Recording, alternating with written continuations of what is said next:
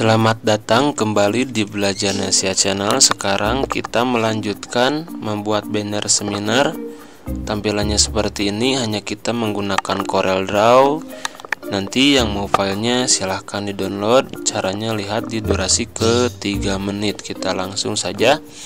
Silahkan teman-teman dibuka untuk Corel Draw-nya. Di sini kita menggunakan X7. Kita buka dulu file new. Setelah itu teman-teman kita ganti di sini satuannya menjadi cm saja ya. Lalu kita gunakan e, perbandingan 1 berbanding 3 bisa menggunakan 10 per 30 cm seperti itu. Kalau sudah diklik saja ya. Kalau sudah diklik teman-teman bisa diklik dua kali di bagian rectangle tool ini otomatis menjadi bentuk sesuai dengan kampasnya. Setelah itu teman-teman silahkan buat satu buah rectangle. Kita bisa drag seperti ini lalu kita rotasikan diklik dulu. Satu kali kita rotasikan iya seperti itu. Kalau sudah dirotasikan teman-teman ditekan tombol P ya. Ini menjadi di tengah kita geser ke sebelah kanan oke. Seperti ini kira-kira lalu kita pilih ada shape tool ya. Kita tarik untuk shape toolnya disesuaikan sampai bentuknya tidak terlalu meruncing ya atau tumpul di bagian pojok oke seperti itu.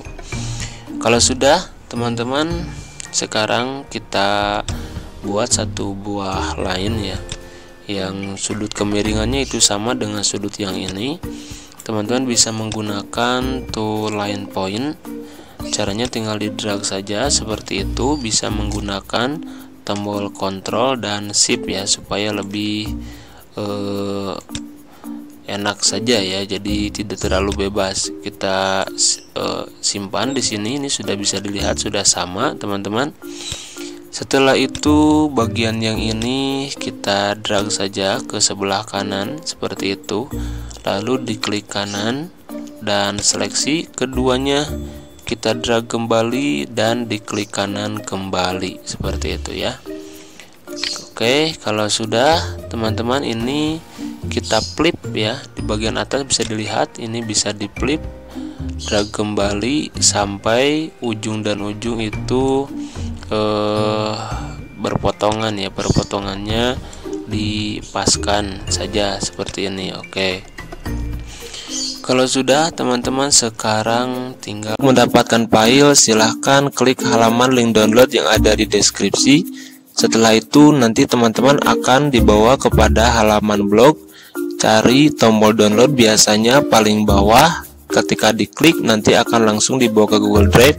Silahkan di download dan selamat Anda bisa mendapatkan file desainnya secara gratis tentu dengan dibaca ketentuan dalam pemakaiannya. Terima kasih. Kita seleksi dulu semuanya sebenarnya sih kalau tidak diseleksi juga bisa kalau tidak salah untuk smart fill karena kita tidak menggunakan uh, shape builder ya seperti yang di Illustrator kita pilih saja Smart Fill di sini teman-teman. Di sini kita pilih satu. Oh sebentar. Kita pilih yang tadi ya seleksi saja Smart Fill oke. Kalau nanti teman-teman tidak bisa menggunakan smart fill itu bisa dilakukan bagian yang paling bawah ini dinaikkan ke atas dengan control home yaitu kalau tidak bisa seperti barusan ya. Kalau bisa ya tinggal digunakan saja. Oke kita pilih smart fill di sini satu dua ya. Kita ganti dulu untuk warnanya ini bebas dulu lah sementara. Oke layout dasarnya seperti ini. Kita pilih dengan eh, tekan tombol alt bagian ini kita buang di delete. Ini juga sama. Kita delete yang ada di luar eh, frame atau di luar layout yang sudah kita sediakan. Oke kita ganti dulu untuk warnanya. Kita ganti yang ini kita buat abu yang ini kita buat kuning yang ini kita buat warna ungu eh, pink ya ini ya harusnya ya ungu. Sebentar. Kalau tidak ada di sini kita bisa klik di bagian fill. Kita bisa pilih yang sesuai ya. Oke sepertinya ini saja. Tekan OK ini juga sama. Kita pilih warna ungu hanya yang ini kita turunkan untuk e, warna hitamnya ya. Oke ini ungu atau pink ya? Sepertinya ini warna pink ya bukan ungu. Coba kita cek dulu di sini. Ini ungunya nah sepertinya harusnya ini ya warnanya ya. Oke kita pilih kembali. Ini warna ungunya. Kita turunkan untuk hit, uh, kecerahannya ini juga sama. Kita pilih warna ungu hanya di sini bisa ngambil yang barusan dengan uh, kegelapannya dibuat bertingkat saja ya tidak tidak terlalu sama lah dengan warna yang lain. Nanti teman-teman untuk warnanya bisa di sesuaikan asal terlihat kontras mungkin ya untuk yang satu dengan yang lainnya. Perbedaannya kalau ini masih menggunakan warna kuning. Kalau sudah semuanya bisa kita hilangkan untuk outline-nya teman-teman seperti itu. Ini sepertinya harus lebih gelap lagi ya teman-teman. Atau warnanya lebih dibedakan lagi bisa ditarik. Iya seperti ini Oke sebentar. Ini Sedangkan warna ungu kita ambil yang lebih cerahnya. Oke. Iya kira-kira seperti itu. Kalau sudah Sekarang kita masukkan untuk modelnya teman-teman. Di sini saya sudah siapkan untuk modelnya dari Unflash. Tinggal kita tarik saja ke dalam Corel Draw. Kita flip angle-nya kita ubah, lalu kita klik kanan power clip, pilih yang warna abu. Di sini kita edit power clip. Disesuaikan hingga si modelnya itu mengisi seperti penuh ya, seperti itu setelah itu bagian yang kuning ini kita buat kontur ya teman-teman tinggal kita ditarik saja seperti itu. Konturnya bisa disesuaikan. Ini kita isi satu saja. Oke sebentar.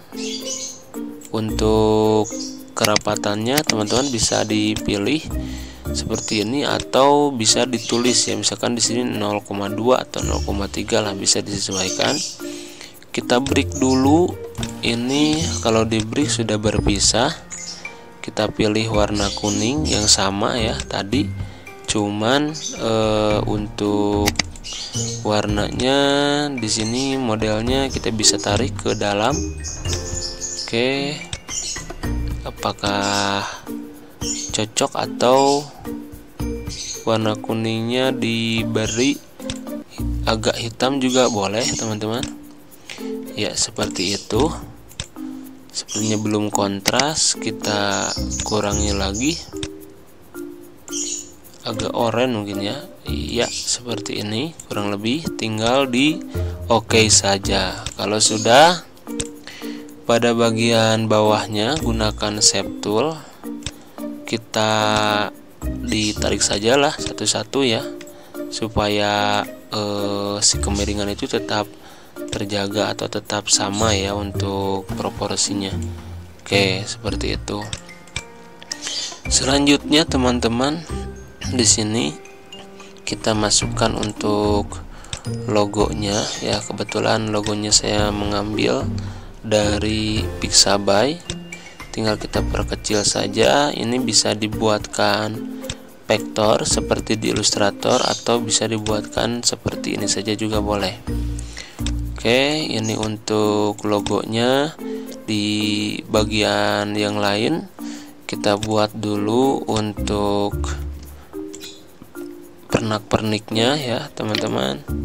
ini kita tambahkan sekitar 5 atau 4 lah 4 PT ya. Itu perbesar. Bisa dilihat di sini kita akan duplikat menjadi beberapa di drag lalu diklik kanan berduplikat beberapa kali. Seperti itu. Kita eh, perbesar saja dan kita ubah menjadi outline, eh, objek outline ya menjadi outline. Oke seperti ini. Outline menjadi objek maksud saya. Setelah itu teman-teman ini disesuaikan lah untuk jumlahnya juga untuk stylenya juga silahkan saya hanya men mencontohkan saja lah seperti itu Oke, seperti ini bagian yang atas ya teman-teman ini bisa kita combine ya. Jadi satu kesatuan. Kita pilih tengah lalu di sini ada intersection ya. Kalau dipilih intersection, semua bagian tengahnya menjadi tercopy dan kita buang saja ini untuk bagian eh, pernak-perniknya disimpan di sini. Kita perkecil dulu lalu kita buat satu lagi. Masih dengan warna kuning outline-nya dihilangkan dan kita duplikat saja. Oke seperti ini teman-teman. Selanjutnya kita eh, duplikat kembali ya untuk membuat yang lebih kecil caranya di drag dan di klik kanan pada bagian akhir supaya menjadi satu. Menduplikat ya maksud saya supaya bisa diduplikat. Setelah itu silahkan bisa menggunakan spiral atau pernak-pernik yang lain ya. Ini hanya contoh saja kalau di template tidak ada teman-teman bisa ditambahkan.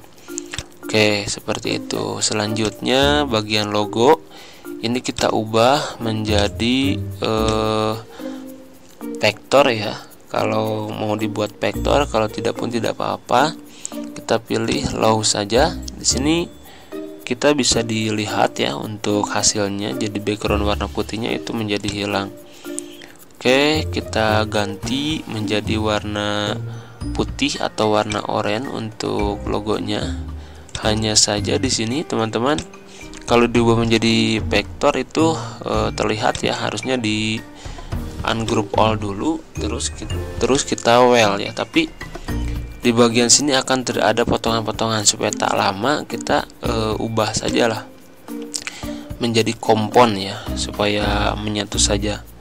Kita ini bukan warna putih ya kita pilih dulu warnanya warna putih ya dan kita grup e, maksud saya kita drag selanjutnya tinggal kita memasukkan deskripsi. Di sini teman-teman deskripsinya mengenai header dan lain-lain ini bisa kita buat di sini ya. Menggunakan text tool silahkan ditulis saja banner webinar dengan judul tapi kurang lebih untuk kontennya eh, maksud saya untuk premnya seperti ini Oke saya sudah siapkan. Jadi ini tinggal di duplikat saja ya atau tinggal dipastekan saja. Teman-teman di sini saya sudah siapkan. Nanti teman-teman untuk menggunakannya bisa dibuat mandiri ya. Di sini adalah tulisan dari template yang sudah saya siapkan untuk dibagikan karena pada dasarnya mudah saja. Maksud saya e, sederhana ya untuk menggunakan membuat tulisan seperti ini untuk fontnya saya menggunakan Predoka font dari Google Font teman-teman nanti bisa disesuaikan Oke, kita lanjut dulu. Di sini data yang dimasukkan ada nama perusahaan, terus ada deskripsi, tanggal kapan untuk uh, webinarnya, ya. Terus ini webinar di sini kan karena online jadi tidak ada tempat ya, paling ada ada waktu saja. Ini untuk pendaftaran, tema dan di bawah di sini ada moderator panitia ya. Moderator nanti nanti namanya bisa diganti dan untuk nanti bisa diisi foto jadi tinggal kita dibuatkan frame saja. Oke ini juga sama kita pilih untuk frame. Teman-teman ini bisa diberi warna putih ya untuk sementara. Nanti digunakan untuk frame foto-foto dari panitia ya. Kalau moderator itu pembawa acara kalau panitia satu panitia dua kalau kalau itu digunakan untuk bagian pendaftaran atau bagian registrasi. Nanti bisa disesuaikan dengan eh, keadaan lah keadaan atau situasi dan kondisi panitia itu sendiri ya. Selanjutnya ini ada eh, nama ya nama dari narasumber sendiri. Ini kita buat saja frame supaya namanya lebih jelas bisa diberi warna. Ini kita turunkan dulu teman-teman. Lalu pada bagian tengahnya ini ya ini kita editnya kita copot. Ini kita tambahkan sebelah kiri dan ini sebelah atas maksud saya. Ya jadi seperti itu. Selanjutnya outline nya kita hilangkan. Kita hilangkan. Terus kita buat satu lagi ya caranya diduplikat Ctrl D seperti itu. Kita pilih outline kita turun kita naikkan saja yang ini Ctrl Home. Dan untuk outline-nya ini karena hampir sama ya. Bukan hampir sama sama ya. Kita perbesar sedikit ini juga sama. Oke seperti itu. Kita tekan E ya nanti untuk kemiringannya teman-teman bisa digunakan sesuaikan sajalah seperti itu ya. Supaya tidak lama oke. Ini untuk bagian yang keluar ini ada pilih menggunakan uh, shape tool. Ubah dulu menjadi carpus. Oke untuk bagian yang ini teman-teman sudah di convert ya. Ini bisa kita disesuaikan menjadi ketebalannya juga sama ya. Nanti untuk yang lainnya teman-teman bisa dieksplor kembali. Ini untuk eh, jabatan ya atau untuk posisi sebagai di webinar itu sendiri. Oke sepertinya teman-teman tinggal yang terakhir itu sosial media ya. Sosial media itu tinggal di drag saja atau dimasukkan baik PNG ataupun vektor bagian yang ini saya sudah siapkan jadi tinggal di paste saja ya teman-teman. Karena nanti teman-teman juga eh, bagian ini sudah saya siapkan jadi tidak usah mengambil. Saya sudah membuatnya ya teman-teman. Oke sepertinya itu dulu untuk tutorial kali ini. Terima kasih sudah menyaksikan. Mohon maaf bila ada bukan bilang ya ada kesalahan dari video ini ada objek yang tidak sesuai atau ada warna yang tidak sesuai dengan template yang dibagikan tapi kurang lebih admin membuat e, banner untuk webinar menggunakan Corel Draw seperti ini. Terima kasih sudah menonton mudah-mudahan bermanfaat. Silahkan digunakan. Salam belajar Nesia Channel